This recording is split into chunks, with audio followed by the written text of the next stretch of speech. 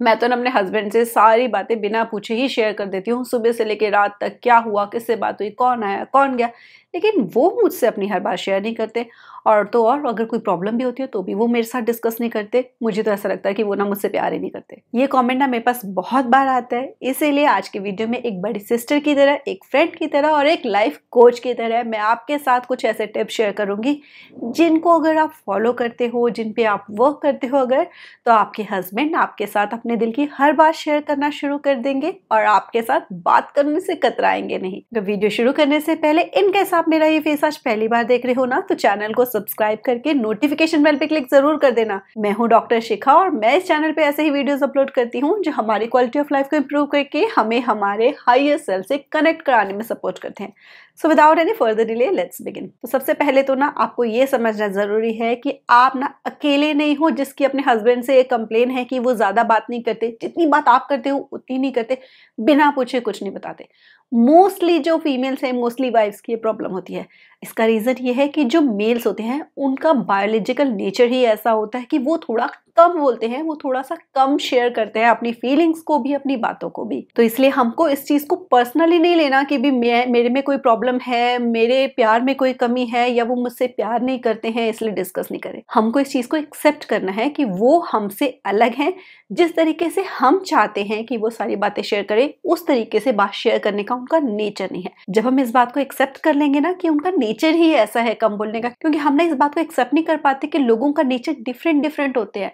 तो हमको एक्सेप्ट करना है कि उनका नेचर हमसे अलग है। फिर हमको क्या करना है कि उनकी पर्सनालिटी को स्टडी करना है कि उनकी अपनी क्या क्वालिटीज़ हैं, जैसे कि आप शेयर करते हो, उसके अलावा वो उनकी क्या क्वालिटी है, हमने उनके ऊपर फोकस करना शुरू करना है। और इस बात को अपने माइंड से निकाल देना है कि वो हमसे प्यार नहीं करते हैं, इसलिए वो हमसे ज़्यादा बात नहीं करते और इस चीज़ को ही समझना है कि उनका नेचर ऐसा है, इसलिए वो कम बात करते हैं। और उनके उस नेचर के लिए हमको उन्हें क्रिटिसाइज करना बंद कर देना है। नेक्स्ट हमको इस बात का ध्यान रखना है कि जो मेल्स होते हैं ना, और स्पेशली जो लोग कम बात करते हैं उनको ना अपने माइंड में सारे थॉट्स को प्रोसेस करने के लिए थोड़ा सा टाइम लगता है। साथ ही साथ क्या है कि मेल्स के ऊपर हस्बैंड्स के ऊपर ये बहुत प्रेशर रहता है बचपन से ही कि हमें स्ट्रॉन्ग मेल रहना है, हमें स्ट्रॉन्ग बनना है। तो उस चक्कर में भी वो हर बार शेयर नहीं करते हैं। अपने अंदर ही अंदर रखते हैं उन फीलिंग्स को, उन इमोशंस को, उन प्रॉब्लम्स को और खुद ही उनके सॉल्यूशन ढूँढने की कोशिश करते हैं। क्योंकि उनको लगता है कि अगर वो ये सारी बातें किसी से शेयर कर देंगे, वो एक वीक पर्सनैलिटी होने का साइन होगा। तो इसलिए हमको उनको थोड़ा सा टाइम देना है। जब हमें लग रहा वो किसी प्रॉब्लम में है, वो हमारे साथ डिस्कस नहीं कर रहे हैं बात को तो हमको एकदम से जाके उनके ऊपर क्वेश्चन की बौछार नहीं कर देनी है, एक के बाद एक के बाद एक। जब हम उनको स्पेस देंगे थोड़ा सा एकदम से मिलते ही हम उनसे बातें करनी शुरू नहीं कर देंगे तो धीरे धीरे ना वो खुद भी अपने आप से बात करने के लिए आएँगे। लेकिन हम उन्हें मौका देते ही नहीं है, हम खुद ही शुरू हो जाते हैं बात करना। तीसरा ये कि जब हम अपने हस्बैंड से बात कर रहे हो और हमें पता है कि जो हमारे हस्बैंड है, ये थोड़ा कम बोलते हैं तो हमें कोशिश ये करनी है कि हम उनसे ना बहुत ज़्यादा उनकी पर्सनल बातें निकलवाने की कोशिश ना करें, ऐसे क्वेश्चंस ना पूछने शुरू कर दें सीधा, जिससे कि उनको ये लगे कि आप उनकी लाइफ में अननेसेसरी इंटरफेयर करना चाह रहे हो, या फिर आप किसी भी तरह की क्वेश्चनिंग अगर करने लग जाओगे इंटेरोगेशन तो उनको लगेगा कि जैसे आप उनके ऊपर सीआईडी लगे हो, उनसे पूछते चले जा रहे हो। तो आपको उनसे बहुत ज़्यादा क्वेश्चन उनसे रिलेटेड पूछने की जगह ना अपने रिलेटेड बातें करनी शुरू कर दो, अपने रिलेटेड क्वेश्चन पूछने शुरू कर दो। ओपन एंडेड ऐसे क्वेश्चंस नहीं हाँ या ना में जवाब हो जिनका। ऐसे क्वेश्चंस जिनके जवाब में ना उनको थोड़ा सा ज़्यादा बोलना पड़े। वो एक बार बोलने वाले मोड में आ जाए। जैसे कि आप उनसे पूछ सकते हो कि मुझे थोड़ा सा आजकल ऐसा लो फील हो रहा है। आपको क्या लगता है कि मैं क्या कर सकती हूँ ज़्यादा अच्छा फील करने के लिए? आपको क्या लगता है कि मैं घर के कामों को ज़्यादा अच्छे से कैसे मैनेज करूँ? या फिर मेरे को प्रोफेशनल लाइफ में कोई इशू प्रॉब्लम अगर हम फेस करें तो वो हम उसमें, उनके साथ डिस्कस करें इस तरीके से कि हम उनकी एडवाइस लेना चाह रहे हैं। हम चाह रहे हैं कि वो हमें समझाएँ, वो हमें बताएँ, क्योंकि जो मेल्स का नेचर होता है, वो यही होता है कि वो सॉल्यूशन प्रोवाइड करना चाहते हैं, वो सॉल्यूशन लेना नहीं चाहते किसी से। तो जब आप उनसे सॉल्यूशंस लोगे, उनसे एडवाइस लोगे और धीरे धीरे ये भी दिखाओगे कि जो आप उनसे एडवाइस लेते हो, वो आप मानते भी हो तो वो आपसे और ज़्यादा बात करने में इंटरेस्टेड रहेंगे। नेक्स्ट ये है कि जिन टॉपिक्स में आपके हस्बैंड को इंटरेस्ट है ना, आप वो वाले टॉपिक्स के बारे में थोड़ी सी नॉलेज गेन करना शुरू कर दो और उससे रिलेटेड बातें करो उनसे। क्योंकि मोस्टली क्या होता है हस्बैंड्स एंड वाइफ्स के जो इंटरेस्ट होते हैं, वो अलग अलग होते हैं और हस्बैंड्स क्या है कि कई बार वो आते भी अपनी तरफ़ से बात करना, कुछ बात करनी भी शुरू करते हैं तो वाइफ्स आगे से कह देती है, ये मुझे इन बातों में कोई इंटरेस्ट नहीं है, मुझसे ये बातें मत करो। ये बातें ना अपने फ्रेंड्स के साथ करा करो, अपने ऑफ़िस में करा करो, मेरे साथ ना ये बातें डिस्कस करो। अब जब उनको एक बात के लिए मना हो जाता है ना तो फिर वो आगे से और बातें करना बिल्कुल बंद कर देते हैं। तो इसलिए हमको उनके टॉपिक्स जो है इंटरेस्ट के, उसमें थोड़ा सा इंटरेस्ट लेना शुरू करना है। खुद से जब हम उनके इंटरेस्ट के टॉपिक से रिलेटेड बातें करनी शुरू करेंगे ना तो उनको भी इंटरेस्ट आने लग जाएगा हमारे साथ बात करने में और फिर हमसे वो ज़्यादा से ज़्यादा बात करेंगे। नेक्स्ट हमको ना गुड लिसनर बनना है, क्योंकि हमारा मन क्या करता है कि जैसे ही हस्बैंड मिलते हैं ना, हमें लगता है कि बस हमें बातें करनी है, इतनी बातें करनी है, पता नहीं कहाँ कहाँ से हमको बातें याद आती हैं और हर छोटी से छोटी बात भी हम उनको बताते हैं। चिड़िया अगर बाहर आकर बैठ गई थी, हम वो भी बताएँगे कि पता है आज एक चिड़िया बाहर आकर बैठ गई थी, किसका फ़ोन आया था, बाहर क्या था, सारी बातें हम करते हैं, लेकिन हम उनकी बातें सुनते नहीं है ध्यान से। तो हमको उन्हें बोलने का मौका देना है। और चाहे वो एक वर्ड भी बोले ना तो हमको उसी टाइम बिल्कुल चुप होके अपना फ़ोन तो हमें साइड पे रख देना है। बिल्कुल चुप होके आई कांटेक्ट करके स्माइल के साथ बहुत ध्यान से उनकी बात को सुनना है। तो उनको लगे कि ये मेरी बात भी सुनती है। मुझे भी बोलने का मौका मिलता है, मेरी बात को भी इंपॉर्टेंस दी जाती है। तो जब उनको ये लगेगा कि मेरी बात भी सुनी जाती है तो फिर वो और ज़्यादा से ज़्यादा आपके साथ बात करनी शुरू करेंगे। नेक्स्ट ये कि ना हस्बैंड के साथ जब भी आप बात करो ना तो कभी भी उसको किसी प्रॉब्लम के साथ शुरू मत करो। मोस्टली क्या होता है कि जैसे ही हस्बैंड हमें मिलते हैं, अगर कुछ दिनों के बाद मिल रहे हैं, या फिर हमें सारे दिन के बाद भी मिल रहे हैं, हम अपने अपने ऑफ़िस गए थे, शाम को हम मिल रहे हैं तो हम क्या करते हैं कि जितना भी दिन की प्रॉब्लम्स चैलेंजेस हमने फेस किए थे ना, वो सारी बातें नेगेटिव जो हमारे साथ हुई थी, वो हम सारी शेयर करना शुरू कर देते हैं, क्योंकि हमें लगता है कि हम जल्दी से जल्दी उनसे बात करेंगे और हमारे मन का जो बोझ है वो हल्का हो जाएगा। अब उससे क्या होता है कि हमारे मन का बोझ तो हल्का हो गया, लेकिन हमने क्या किया कि जो हस्बैंड का माइंड है, उसको तो नेगेटिविटी से भर दिया ना, क्योंकि हम कहते हैं कि नेगेटिव बातें हमें बहुत ज़्यादा शेयर नहीं करनी चाहिए। मतलब ये नहीं कि अपनी प्रॉब्लम्स को डिस्कस मत करो। मतलब ये है कि जब भी कन्वर्सेशन की शुरुआत करो तो उसको पॉजिटिविटी के साथ शुरुआत करो। इन बातों के साथ शुरुआत करो कि आज के दिन में आपके क्या अच्छा हुआ? उनसे पूछो कि आपके दिन में आज कैसा अच्छा हुआ? वो कैसे हैं?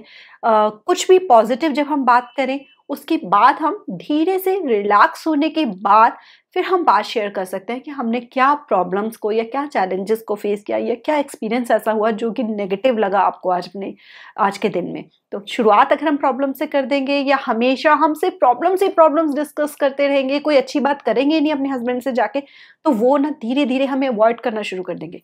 ये नहीं होगा कि वो हमें प्यार नहीं करते। ये होता है कि कई बार बहुत छोटी छोटी सी बातें होती हैं जिनको कि हम खुद भी सॉल्व कर सकते हैं। हम सॉल्व कर भी लेते हैं, हमें सॉल्यूशन चाहिए भी नहीं होता। फिर भी हम जाके अपने हस्बैंड के साथ उनको डिस्कस करते हैं।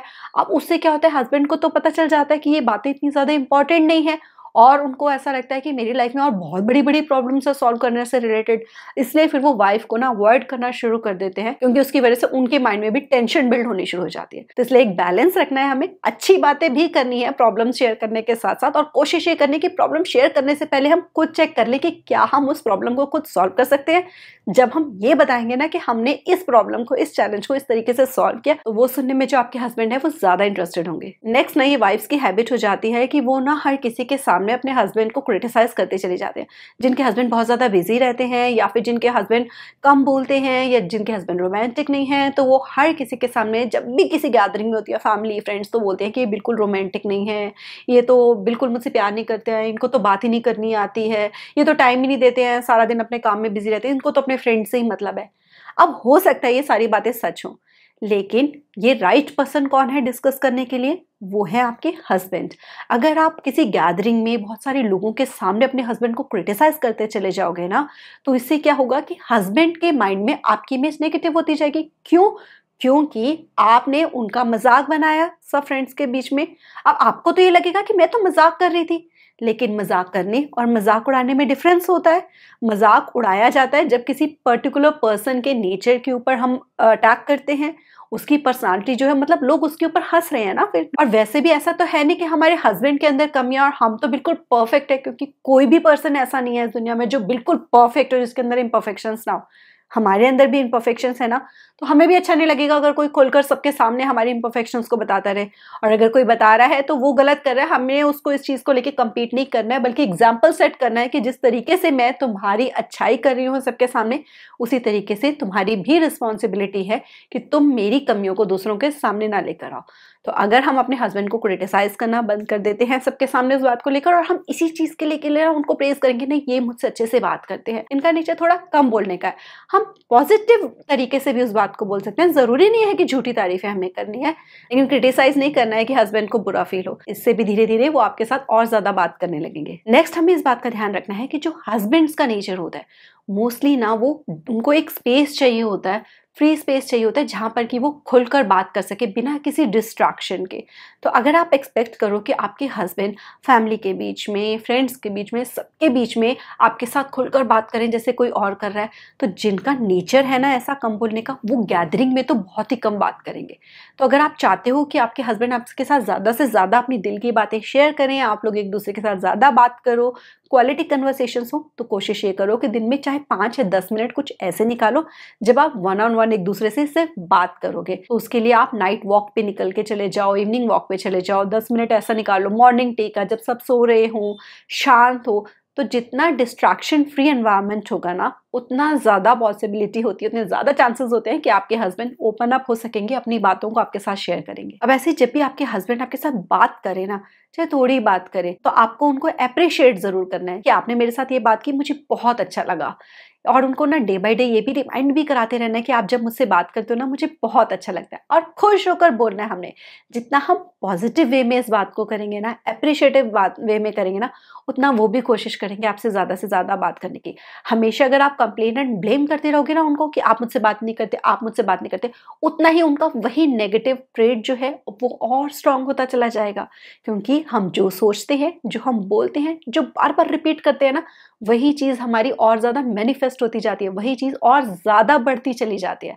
हम अगर थोड़ी सी भी बात करें दिन में हेलो भी कह रहे हैं, उसके लिए भी उनको थैंक्स बोल दें अप्रिशिएट कर दें कि आपने मुझे हेलो बोला खुद से आके, मुझे बहुत अच्छा लगा।